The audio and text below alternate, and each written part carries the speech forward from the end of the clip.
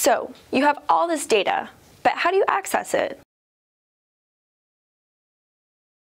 Microsoft SQL Server is a relational database management system that supports a wide variety of applications in corporate IT environments, from transaction processing to business intelligence to analytics. As the name suggests, SQL Server is built on top of SQL, a language that database administrators and IT professionals use to manage and search databases. Microsoft SQL Server competes primarily against Oracle Database and IBM's DB2 in the relational database management system field.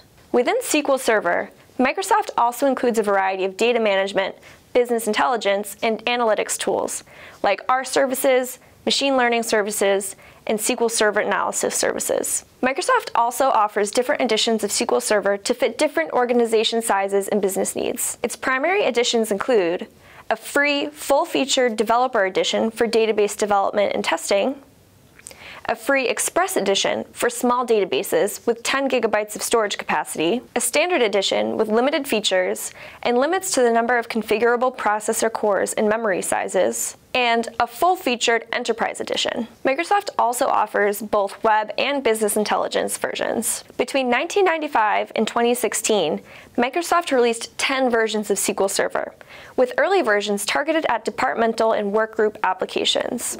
More recent versions are enterprise grade and meant to rival other platforms for the high-end database user.